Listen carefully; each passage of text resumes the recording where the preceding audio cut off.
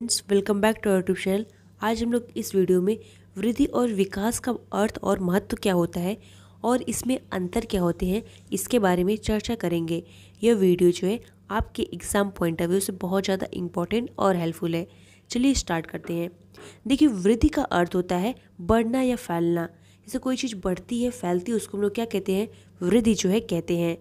और मनुष्य के आंतरिक और वाय अंगों का बढ़ना ही क्या कहलाता है? वृद्धि जो है, कहलाता है। और वृद्धि जो हमारी होती है ना, शारीरिक रचना और शारीरिक बदलाव की ओर संकेत करती है। देखिए, किसी भी प्राणी में पहले विकास होता है, पहले जो है विकास होता है, फिर उसके बाद जो है वृद्धि होती है। तो ये हम लोग को ध्यान में रखना है। और देखिए, वृद्धि का समय जो है ना निश्चित होता है। जैसे ये गर्भाधान के लगभग दो सप्ताह पश्चात ही जो है प्रारंभ होती है और 20 वर्ष की उम्र के आसपास तक जो है वृद्धि हमारी होती रहती है। तो हम लोग को ध्यान में रखना है।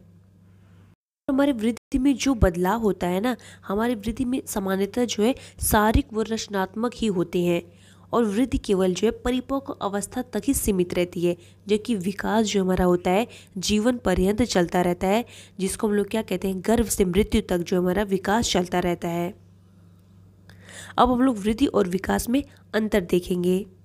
देखिए, वृद्धि में केवल क्या होता है, शारीरिक परिवर्तन होता है, लेकिन विकास में हमारा शारीरिक भी होता है, मानसिक भी होता है, व्यवहारिक भी होता है, तीनों परिवर्तन इसमें होते हैं। और वृद्धि हमारी एक कैसी होती है? मात्रात्मक होती है क्वांटिटी वाली होती है। और लेकिन हमारा विकास कैसा होता है? यह गुणात्मक होता है क्वालिटेटिव होता है।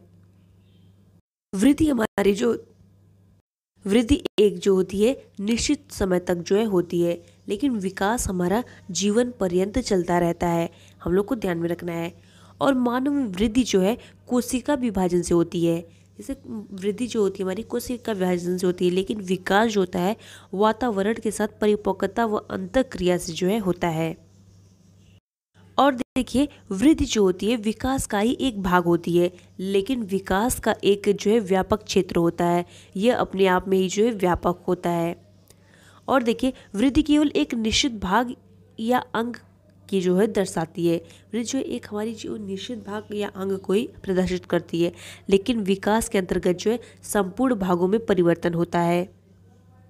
का आकलन जो है मात्रात्मक होता है, लेकिन विकास का आकलन जो है गुणात्मक होता है, जो विभिन्न परिस्थितियों के साथ होता है। जैसे मात्रात जैसे वृद्धि की बात करें, मात्रात्मक कैसे होता है? जैसे अगर कोई बालक है, उसकी मोटाई बढ़ रही है तो हम लोग पता कर सकते हैं, वेट करा के उसको कि कितना मोटा हुआ है। उसकी हाइट बढ़ रही है तो उसकी हाइट हम लोग पता कर सकते हैं कि कितनी हाइट बढ़ी है। तो ये वृद्धि कैसी हो जाती है? मात्रात्मक हो जाती है। लेकिन विकास आंतरिक, जैसे मान लीजिए मानसिक परिवर्तन हुआ, बच्चा मेच्योर हो रहा है, शारीरिक परिवर्तन हुआ तो तीनों परिवर्तन जो होता है, उसको हमारा विकास दर्शाता है।